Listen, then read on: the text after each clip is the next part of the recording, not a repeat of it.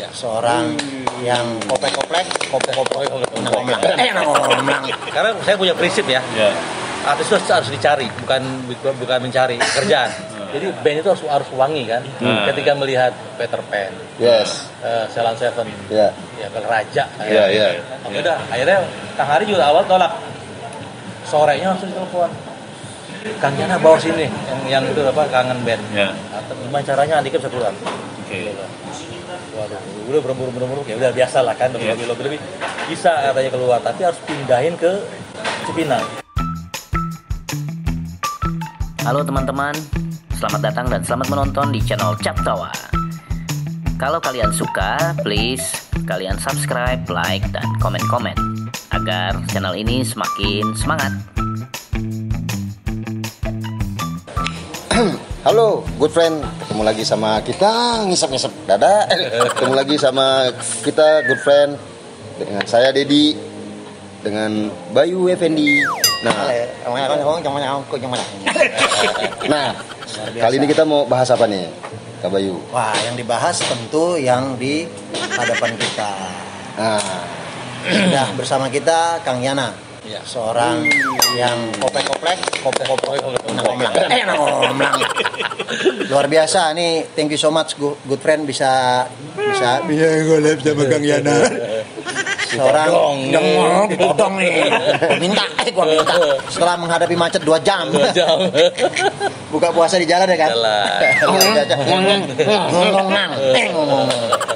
Baik, good friends, kita akan berbagi Apa, cerita. good friend? Ya, Nah. berbagi good friends cerita. Cerita. Yang eh, cerita tentang bagaimana mengelola kakinya naik ke jidat mau. artis, suka duka, memanage, membuat yang tadinya tidak digleg-gleg, tidak dikenal, kemudian menjadi terkenal, satu dunia tahu dan disukain dan dicintain.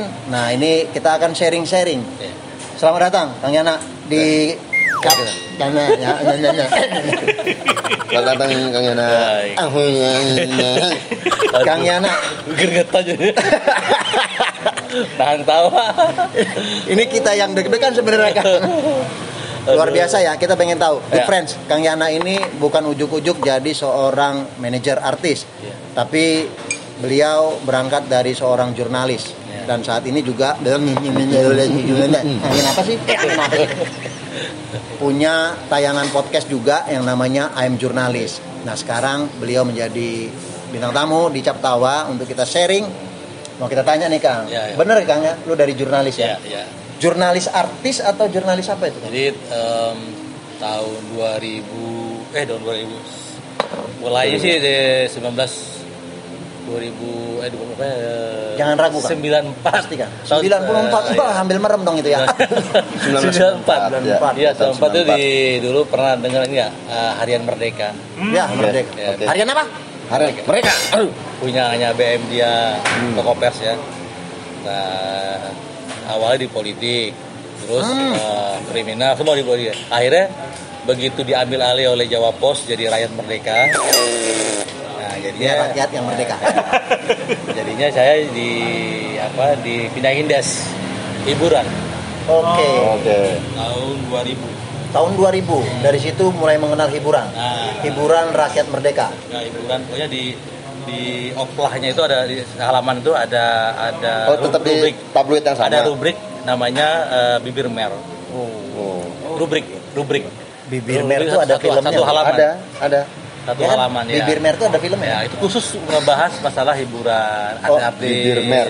gosip Ya. itu saya yang ngelola Oke, Nah, oke, oke. dari situ saya mengenal dunia artis Oke. Nah, jadi sebelum saya punya manajemen dan saya pindah eh, apa eh, hijrah bikin manajemen, eh, saya dulu Oke, ada tamu nggak diundang, Kang? jadi saya dulu pernah manajeri awal ya, jadi manajer ya, Mandra. Mandra. Iya, iya, iya, tahu tahu. Oh, si muka oplet. Gimana muka? dulu Mandra. Oke, oke. Oh, Itu Mandra. belum punya manajemen. Itu dia bawa oplet. Aduh. Nah, belum punya manajemen. Ya.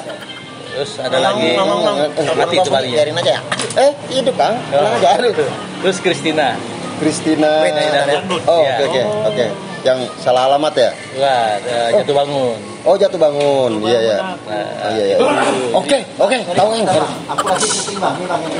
Jadi sebelum sebelum punya manajemen artis, nah saya secara personal manajeri Mandra, Christina. personal manager iya, Cucu Cahyati, Cucu Cahyati. Lilis Karina, oke, oke. banyak. nah itu waktu menjalankan profesi itu Iya, berbarengan sebagai wartawan juga sebagai wartawan dulu. oh berarti wartawan, nyambi jadi Oh. manajer. Jadi personal ya. Personal ya. Mandra, dari Christina, Oh, Christina juga. Iya, itu kebangun dulu dia. Sebelum jadi apa tuh? Bisa lagi Sebelum di Diva Dangdut? belum kita bikinin. oh malah sebelum belum. Oh my God. Kita bikinin dia dulu jadi diva. Dia dulu minta, saya gimana caranya saya jadi artis terkenal. Bilang, waduh. Tapi kerjaan wartawan ya. Hmm. Jadi kita memberitakan Iya, beritakan. Udah, akhirnya kita gabung sama Christina. Iya. Digaji waktu itu. Digaji. Emang sebelumnya nggak digaji? Ya kita kan biasa sharing kan. Oke, oke. Kalau aja sharing ya. gitu. Pas sama Christina digaji. Digaji. Weh, cair. iya. Gajian, bos. Oke, dulu bikin. Oke bos. Akhirnya gini, gimana caranya dari bayar 5 juta sampai 100 juta. wow. Di sini nih, Nah, Nih ya, gimana tuh? teman-teman ya, ingat gitu, ya. Kang. Sampai diminta orang banyak gitu kan. Iya, iya. Ya pertama emang dia udah terkenal dengan lagu Jatuh Bangun. Ya. ya. Ya, Jatuh Bangun. Itu gimana sih lagunya? Jatuh bangun aku. Ya benar ya gitu. Iya, Iya bener benar kan? Ya, ya, Nah. ya. Oke, itu Kalau kan. dangdut slow. Bangun. Terus caranya seperti apa? Ya kita kita kelola. Akhirnya gini. Ini anak nggak bakalan bisa naik namanya kalau nggak kita kita bikin ya sesuatu. Akhirnya saya dengan eh, itu Om Ben, Om Ben itu yang punya contoh manajemen, Oke. kita gabung lah. Yuk, Ben Leo? Ben eh, Om Ben, 5 juta. Oh. Yang punyanya punya contoh manajemen itu ada dulu ada Ben, Ben. Ya, ya. Indra Bukman. Oh iya dia iya kayak gitu. iya iya. iya. Yang Nah. di Ingat lah Kak Deddy pasti. Tebet, tebet. Tebet, ah, ya. Oh, iya, iya, Tebet. Nah, itu kita Orang Batak, akhirnya ya? kita bikinin konser. Padahal aku satu doang lagunya. Itu juga belum belum ngetop. Belum, ya. Gimana caranya? Kita gabung. Artis-artisnya. Ah, jadi gini, Amben punya punya artis, ya kan? Kayak Oke. Indra Brookman apa kita gabung. Entah kalau dia masuk ke ke hard rock juga nggak akan terima karena kan ya dangdut ya kan. Iya. Iya. Nah kita kalau collab tuh sama almarhum uh, Oke. Hari Rusdi, Oh, Hari Rusli. Dokter Eh, ya. almarhum. Iya, iya, Almarhum. iya. wow. Kita minta sama dia. Dulu dibantu sama sama wartawan senior kita dulu namanya almarhum juga. Oke. Eh, Remy Sustansa, Remy Sustansa, Reni Stangsa ingat. Saya tahu. Ingat, Hans ingat. Miller, semua gitulah. Iya, iya. Nah, ini buat buat anak-anak milenial yang tadi disebut ngomong-ngomong aja ya. Aduh, Oh, ya. maksudnya di browsing aja. Itu orang-orang yang bersejarah semua. Ya, akhirnya kita Jadi tahun segitu udah musim kolaps juga kan? Udah kepikiran kolaps. iya memang memang begitu. Bukan lah. zaman sekarang aja ya. Kalau Iya. sekarang kan zaman kolaps. Kayak Nike kolaps sama siapa? Ternyata di zamannya artis, sorry, dalam mengelola artis juga udah ada sistem kolaps itu kan? ada. Karena kan itu, itu- tahun 2000 berapa kan? 2002 apa? 2002 malah? Iya, 2002, 2003 lah. Itu saya masih pakai celana SD loh. Eh, jadi, Bikin lagi jadi artis itu Bohong nggak lu? bukan Eh, dicari oleh Kang Yana tapi artis itu minta untuk dikelola Iya, pada saat itu iya, iya. Jadi kita minta, ya kita bikinin nih, udah kita bikin tuh. Hmm. Setelah jadi manajer ya kan, mikir ngapain bikin ya. profile Apa bikin iya iya iya iya iya. Karena saya punya prinsip ya, ya artis itu harus dicari, bukan bukan mencari kerjaan. ya Gitu. ya Ayo kita bikin sesuatu, bikinlah di Hard Rock Cafe. Bikin konser Di Hard Konser. Rock? Iya Hard Rock. Wow. Tahun 2002. Besok selesai, besoknya udah Langsung kan booming. headline di Padangdut. oh jadi strategi media Iya, ya digu- digunakan Iya, ya? kita punya teman media udah bikin loh headline-nya di Padangdut. Jadi ya Padangdut. Setelah itu baru diminta TV kan. Nah. Nah, kan ada value kan. Iya. Ada TV dong. Nah, Trans TV minta jadi host di Padangdut. Oh, Di situ udah mulai naik. Harganya naik terus ya. Tok sampai Iya. 100 juta, sampai bayar Terakhir mahal. sampai 150 ya. 50 juta. Setelah dari Kristina apa? Setelah ke sini baru saya balik lagi ke ke wartawan kan. Jurnalis lagi. Jurnalis kan dulu sambil nyambil kan. Nah saya sempat bikin juga bikin infotainment.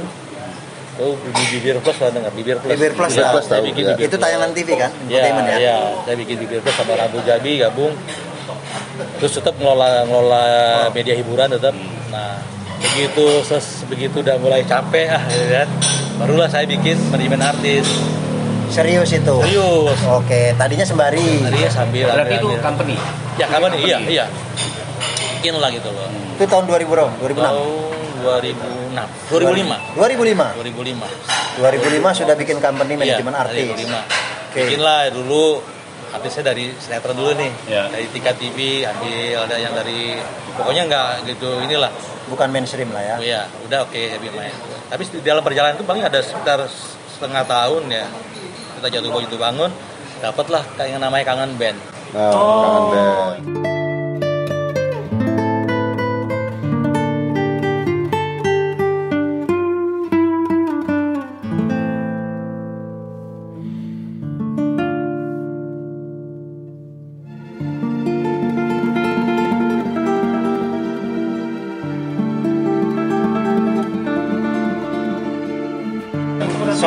Sorry dapat ini kan kalau dapat seolah-olah di jalan ketemu gitu memang Iya, proses jadi seperti gini itu ya, iya. Jadi prosesnya Oke. saya ada yang ngasih tahu teman juga. Tuh di Lampung itu ada band tapi nggak apa eh, apa namanya dulu Bagus. sangat udah sangat terkenal di sana dibacakan di mana-mana jadi jadi saya cuek aja lah gitu loh kirimin demonya cuek aja lah gitu. jadi nggak saya pikir udahlah nggak apa-apa nggak pay attention lah sama Nah, itu oke. band. Begitu saya dulu punya program juga, Nah. rezeki nomblok saya bikin. Oke. Eh, eh, pernah dengar apa? Helmi ya? ya? Bukan, rezeki nomblok itu sama Peggy saya bikin. Oh, Sama Peggy Melati Sukma. Jadi Iya, iya, iya. dia ke senternya. Oke. Kebetulan syuting di Lampung. Oh. Begitu saya dengar itu, ah yang dulu ditawarin sama temen nih. ya Nah. Saya ambil langsung. Ketemunya pas berangkat ke Lampung Dan kangen band padahal pada lu udah terima ininya Demonya ya? demonya oke Kangen menarik belum sekali ada manajer pada Belum ada, ada ada manajer, Oh. cuman ya manajer-manajer di kampung lah ya. Iya, iya. Terus saya temu ketemuin manajernya, ketemu anaknya, mau nggak lu ke Jakarta? Takut lah katanya takut ditipu. katanya. Oh. lu takut ditipu Iya. nah lu meyakinkannya itu sampai kejadian dia saya dua, berangkat dua kali lah tiga kali ke Lampung saya yakinin lagi ya udah akhirnya dia mau ke Lampung eh ke Jakarta kita jemput di di Merak ya. Merak jemput sampai ke rumah saya dulu. Hmm. saya belum tahu Andika. Belum? belum tahu Oke. vokalis Andika. Tahunya tuh Dodi itu vokalisnya. Oh. Karena yang terkenal Dodi. iya iya. Andika tuh di sama dia. Ternyata Andika tuh lagi sekolah. Lagi di di, di penjara. Iya. Oh. penjara. Jadi dia tinggal sisa negara sisa empat tahun empat bulan lagi lah. Oke. ya, satu tahun lagi. Awal atau anak ke Jakarta. Di Jakarta udah ada proses bahasa tuh laundry ya Iya, laundry iya. mereka lah Iya. dari mulai ah nggak jadi apa-apa jadi eh, mulai laundry lah itu ada sekitar enam lima orang lah saya bawa Itu termasuk performance-nya, semua musikalitasnya. semua semua Attitude. semua ya Nah, semuanya Kang Yana, tadi kan Kang Yana eh, sempat ditawarin temen tuh, Iya. kan nggak tertarik kan? Iya. Begitu ke Lampung, terus punya keinginan eh, ketemu itu, terus Kang Yana jadi tertarik. intuisi Gimana ceritanya? intuisi saya juga ya intuisi Insting. insting ya Oke. kita kan di wartawan tuh dilatih Oke. gimana Iya. gimana Sesuatu akan sesuatu meledak atau meledak, enggak iya. gitu. dilatih bikin judul seperti apa Oke. Ya, ya, ya. dilatih supaya ini menarik gak gitu Iya. Tapi menurut Kang Yana waktu pas ketemu Kang Ben itu, ini punya value atau Punya value. ada potensi. ada potensi pertama soal lagu ya Ya, ya. lagu udah terkenal bahwa saya tuh modal ya Ya. kedua fisik fisik Fisik. ya fisiknya aduh ini kan Iya, minus iya. ya minus kan Pada saat itu lebih Minus. sulit ya kalau bicara fisik karena kan pada saat itu lebih ke cantik dan ganteng. Iya. Ya, Kalau ya. sekarang kan orang sudah beda ya. Beda. Jadi dulu dulu itu juga sama. Hmm. Jadi band itu harus harus wangi kan. Hmm. Ketika melihat Peter Pan, Yes. eh, Ceylon Seven, Ya. ya Bel Raja, Iya, iya. harus wangi dong. Iya. Nah, begitu saya bawa ke Jakarta, itu semua nolak. Hmm. label Label. Saya Nah. bawa dulu ke Sony Music. Nah itu maksud maksud Dia nolak kita. apa sih nih? Aduh, lagunya juga nggak enak. Payan. Payan Eh, Sony ya Sony. Oke. Lempar lagi ke lain-lain, nolak juga. Ya udah deh. Saya ini dulu deh, turun dulu di di waktu itu Cibubur ya, kita Iya. kontrakin dulu lah, kontrakin. Ya. Oke. Saya belum belum ketemu Andika tuh belum. Begitu udah mau rekaman, eh belum ketemu label lah. Oke. Ketemu lah almarhum Tasman Oke. sebagai produser dia. Oke. Produser ya. Saya saya bilang titip dong Kang, Kang Hari. Nah, lewat dia kan jaringannya kan juga luas. Iya. Luas jaringannya kan. Iya. Ya udah, akhirnya Kang Hari juga awal tolak. Sorenya langsung ditelepon. Kang Yana bawa sini yang yang itu apa kangen band. Ya. Dateng lah udah. Besok kontrak. Wah, akhirnya kontrak. Itu si Andika belum ada. Belum ada. Oh. Saya nggak tahu itu ada Dika. Iya. Udah oke, rekaman dong. Rekaman, terus rekam. Pakai vokalnya Dodi. Kok suaranya beda katanya? Ya. Wah, lu jangan nipu gua lu. Udah. Sempet Oh, gini gini gini Be- beda nih, bilang gitu. Akhirnya udah lah kita berembuk tuh. Bang Hari pokoknya ada orang Warner lah namanya Ko Ya. Aeng Ko Aeng Ya, tuh ya, ya. Ko Aeng lah ya istilahnya.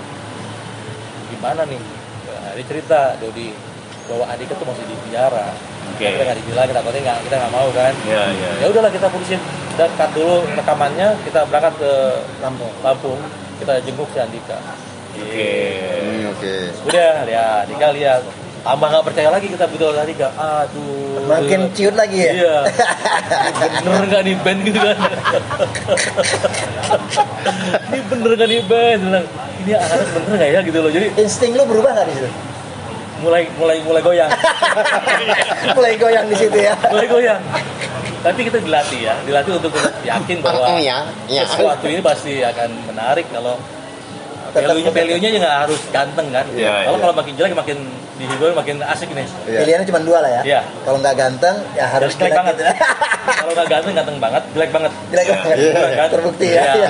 Karena uniknya akan muncul. ya akhirnya tuh kita udah sempat label sempat juga mau undur nih waduh jangan deh begitu tes takutnya kan dia juga suara juga bohongan kan Ya. Hmm. udah bawa gitar kita kan taruh Pas di dalam nih suara yang di di apa rekaman. Di demo, demo. di mana-mana itu Sama. nggak sama nggak jauh beda oh, udah langsung kita Makin udah kuat oke lagi. saya bilang kita ayo ngelobi ke ke lapas ya Andika keluar. Enggak belum, Oh, belum. kan masih 4 bulan Ya. Mhm. gimana caranya Andika bisa keluar Oke.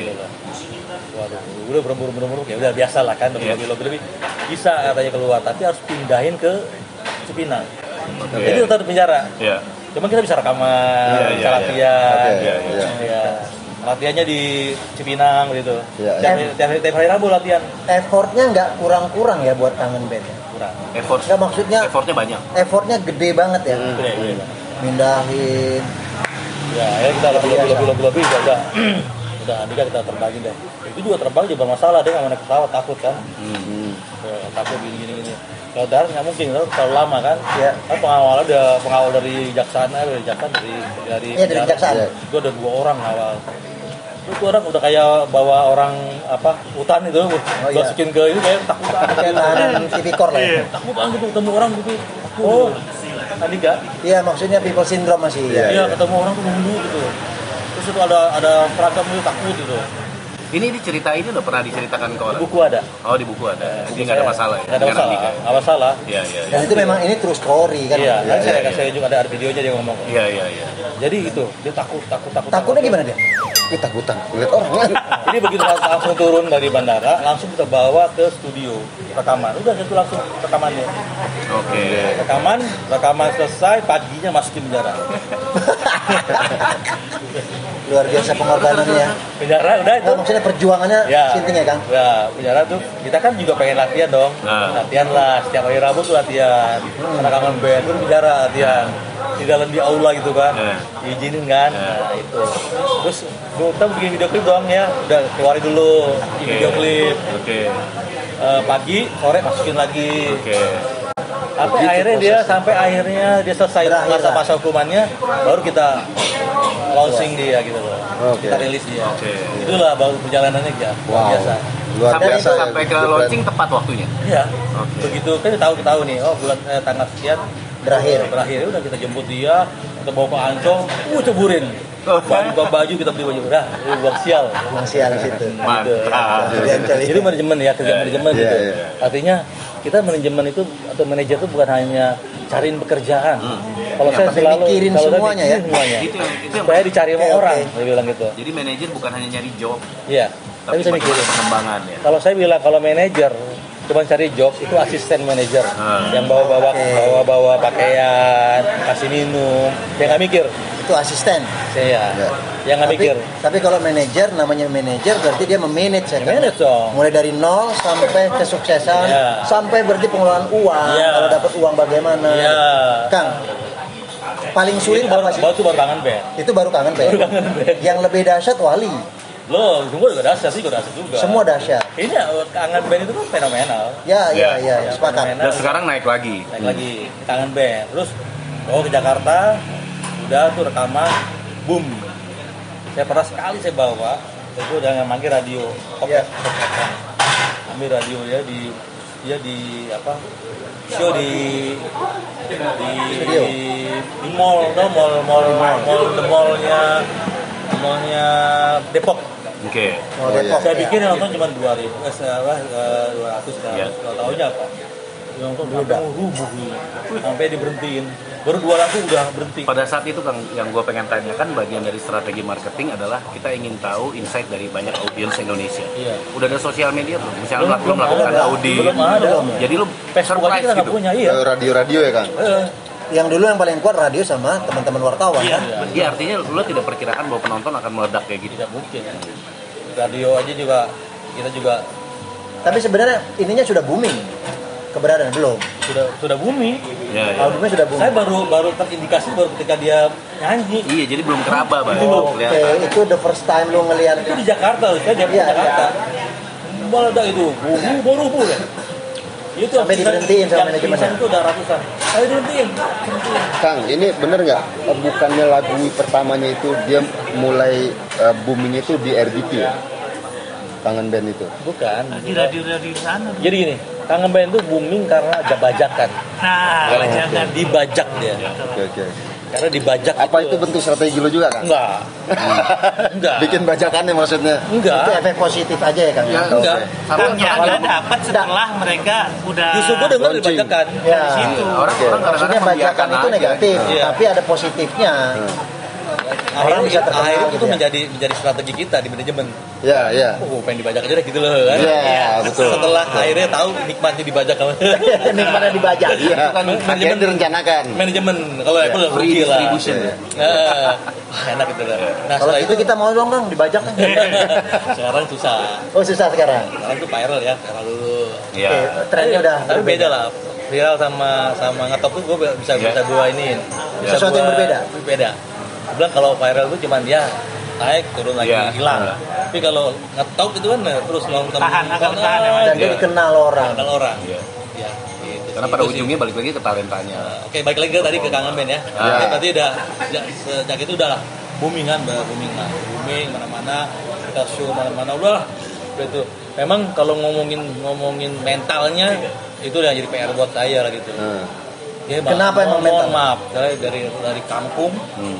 Sebawa ke Jakarta tuh Menjadi secara terkenal. pemikiran juga beda di kampung. Ya. Lingkungan juga beda. Ya, ya, ya. Apalagi satu dia di sana, satu yang Andika tuh sudah pernah di penjara. Ya. Yang lagi belum pernah mengenal dunia luar. Semuanya kita Dunia PR. entertainment belum. Oh, PR banget sampai akhirnya dulu pernah saya bawa ke sekolah ke kelompok gitu. Oke. Kayak gitu, gitu lah. Terus Andika juga waktu syuting klip tiba-tiba dia nggak mau syuting. Oh. Gitu kan? Kan aneh gitu kan.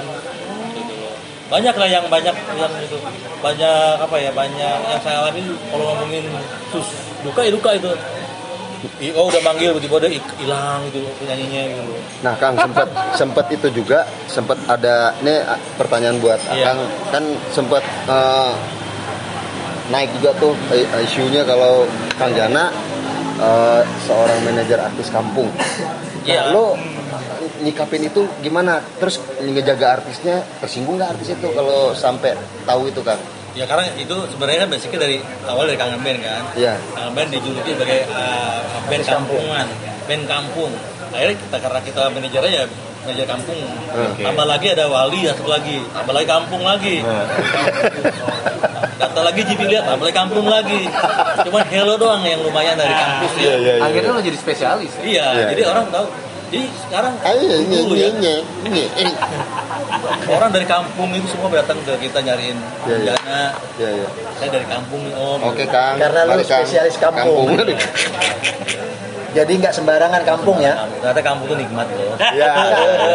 Kalau gua, gua good friends mengelola yang sudah sudah oke dia sekolah kepribadian segala macam mungkin mudah kan ya itu biasa. tapi kalau mengelola yang dari kampung mendidik segala macam wah itu lebih sulit harusnya kan tapi artisnya tersinggung nggak sih kalau ada pernyataan publish yang kayak gitu enggak dia Public. juga dia memang dari aku dari kampung dan dan dan dan, Oke. dan basic Artinya lagu apa adanya. basic lagu juga memang lagu kampungan kan Iya. lagu lagu Melayu apa dan sejak itu lah kangen band kebuka semua untuk penyanyi dari daerah Itulah daya tarik. dia sebagai inspirator iya kayaknya ya iya datang Oke.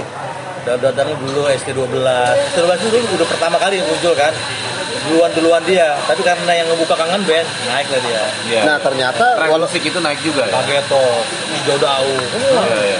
Angkasa, semua tuh. Sejak kangen yang buka itu. nah realisasinya berarti kan yang Ini yang pendobrak ya. Ya. yang Pionir, ya? artis kampung itu kan ternyata banyak seleranya yang menerima keberadaan mereka. Buktinya penuh tadi waktu show. Iya. Berarti nikmat juga berarti kampung gitu kan. Ya, ya, ya, Ya ya. nikmat berarti. Kampung nikmat berarti. Ternyata memang penggemar eh, lagu-lagu Melayu. Yes, lagu-lagu Melayu. dari dari pinggiran. dari pinggiran Iya, iya. kampung juga. Siap. Nah ini ada yang menarik juga tadi ngobrol sama Kang Yana. Sekarang beliau lagi mengelola satu artis yang udah pernah dapat penghargaan juga ya Kang ya. Iya. Itu goyang dasar itu namanya sabun colek. Iya. Oke. Sabun colek itu Apa band itu? Eh, dangdut, dangdut. Oke. Tetap dangdut.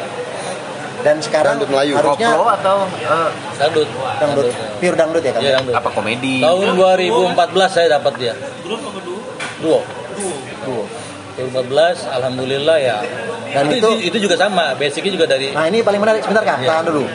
Ada yang bisa nebak nggak? Kalau yang bisa nebak tolong kirim. Siapa duo itu? Ini dibongkar nih. Ya. Ya setelah iklan berikut ini. Eh, untuk menjadi artis yang paling pertama adalah harus gampang diatur, kemudian harus punya value, Potensi.